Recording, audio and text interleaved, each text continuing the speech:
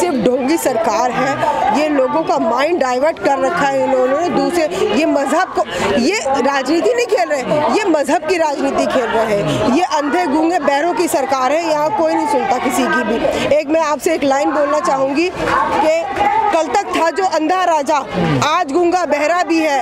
Vote सिल दिए हैं जनता के कानों पे पहरा भी है। ये है मेन ये है मेन चीज़। सुप्रीम कोर्ट ने आज अपनी सुनवाई हाँ। में ये भी कहा कि प्रोटेस्ट करना सबका अधिकार है आपको Exactly. कर भी सकता है लेकिन देखिए हम यहाँ प्रोटेस्ट कर रहे हैं ये कानून के अंदर है।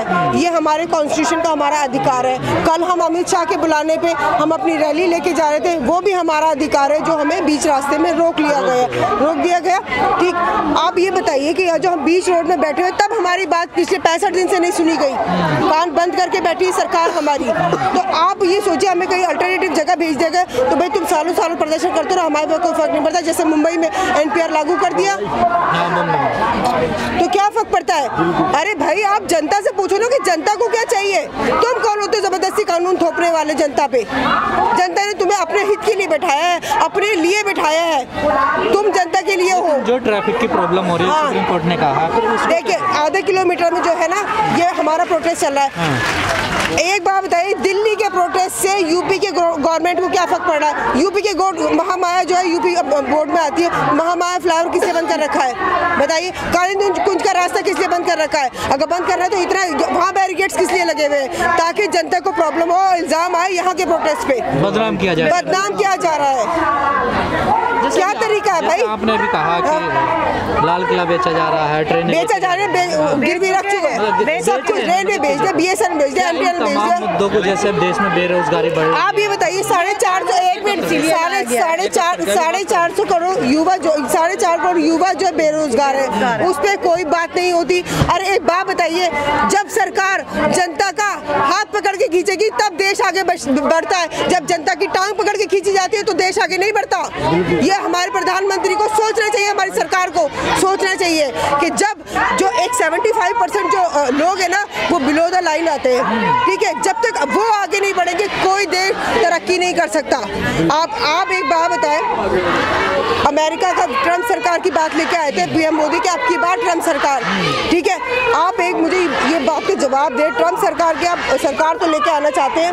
ट्रंप सरकार के रूल रेगुलेशन देखें। अगर एक बच्चा पाँच साल का अप, अपने प्रेसिडेंट से अगर बात करना चाहेगा ना आधी रात में तो ऑन द स्पॉट उसकी बात कराई जाती है। आज उनके जो ये नागरिक हैं, हमारे पीएम साहब के, यहाँ पिछले पैंसठ दिन से बैठे हुए हैं यहाँ पे तो इन, इनकी बात ही नहीं सुनी जा रही। ना इनको बुलाया जा रहा, बुलाने पर भी पाबंदी लगा दी, आने में भी उनका आना भी वो नहीं चाहते। तो कैसे बात बनेगी?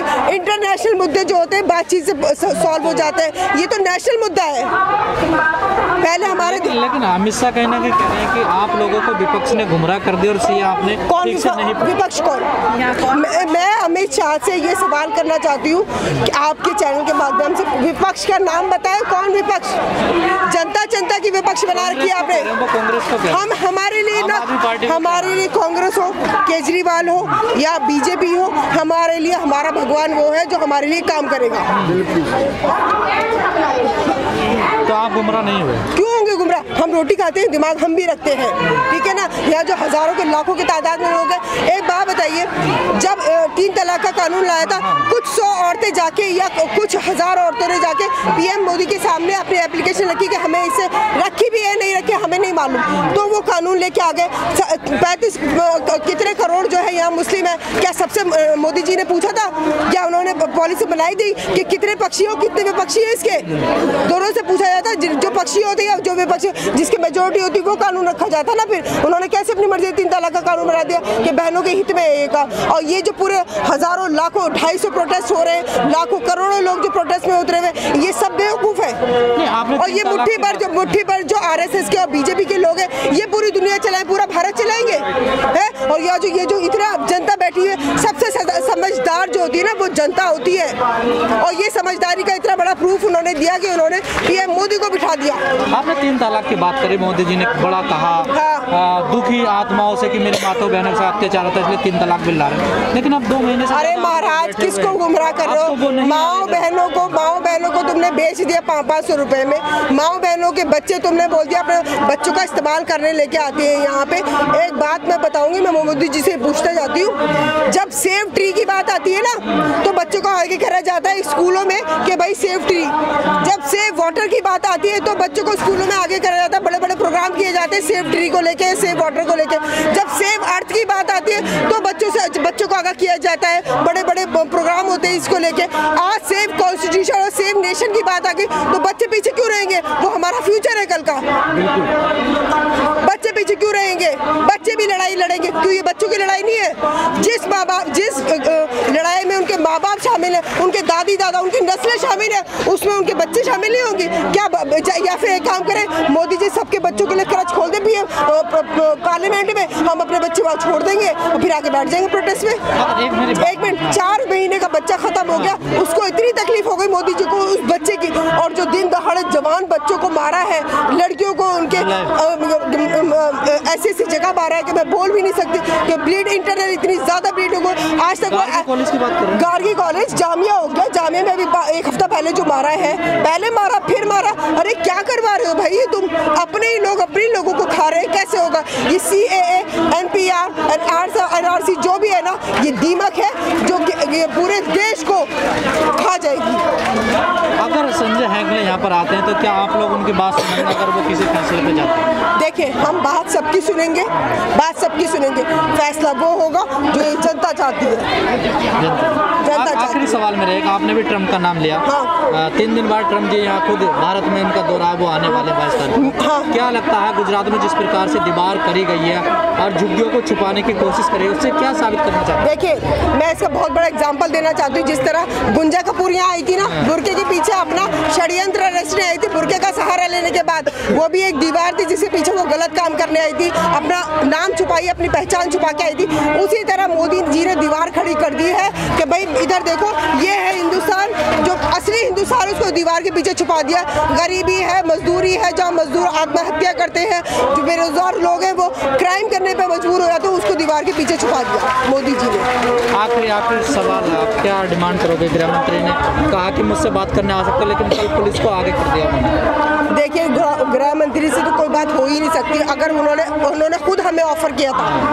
हमें खुद और उन्होंने अपनी तरफ़ से ऑफ़र किया कि आप आए तीन दिन के अंदर आप आके मुझसे हमसे बात कर सकते हैं। यहाँ लड़ाई लड़ रहा है। कोई किसी के लिए लड़ाई नहीं लड़ रहा है यहाँ पे, ठीक है? जिसको इस कानून से, जिसको इस काले कानून से दिक्कत है, वो सब जाएँगे। हमारा हक बनता है, जिनको हमने कुर्सी पे बिठाया, हमारा हक बनता है कि हम उनसे जब चाहे मिल सकते हैं, अपने परेशानी को लेके मिल सकते हैं, हमारी दिक्कतों को लेके मिल सकते हैं। मगर नहीं मिलना चाह रहे फिर उन्हें पहले हरी झंडी दिखाई फिर लाल झंडी दिखा दी। पुलिस को आगे कर दिया कि भाई जो दो कदम आगे बढ़ेगा डंडे बरसा देना उस पर जो उन्होंने कर रहा है पहले लास्ट दो महीने में जो कर रहे हैं वो लोग। नहीं है इशू ये हर उस प्रोसिक्यूटेड इंसान का है जो परेशान है गरीब है। और इंडिया जो है वो गरीब मुल्क है। कोई डेवलप्ड भी नहीं है।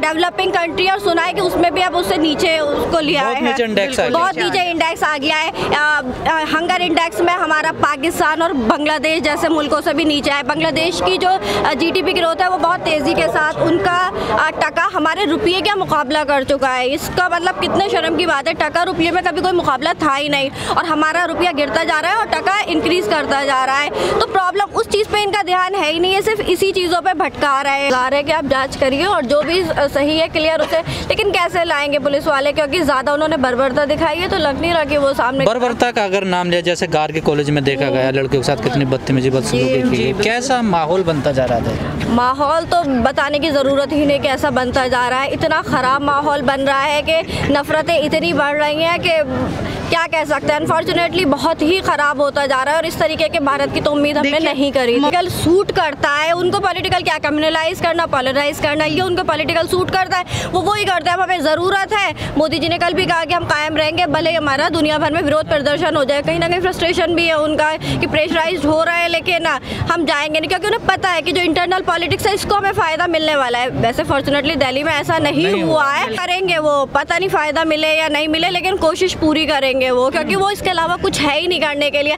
आप देख रहे हैं ना गुजरात में ट्रंप आ रहे हैं तो वो झुग्गियों के सामने दीवार कर रहे हैं। हाँ, भाई इतना विकास किया है तो क्या ज़रूरत है दीवार लगाने की आपको? तो वो यही करेंगे उनको पॉलिटिकली और कुछ किया ही नहीं काम उन्हें कुछ नहीं करना उन्हें सिर्फ़ हिंदू मुस्लिम लड़वाना भिड़ाना यही और शाहीन बाग में भी ये पता नहीं अब तो इलेक्शन भी ख़त्म हो गए हमें गुहार है कि अब तो कम अज़ कम आप आइए हमारी प्रॉब्लम सुनिए और जो भी है डायलॉग करिए। बिना डायलॉग के सोल्यूशन नहीं होता है। एक आखिरी सवाल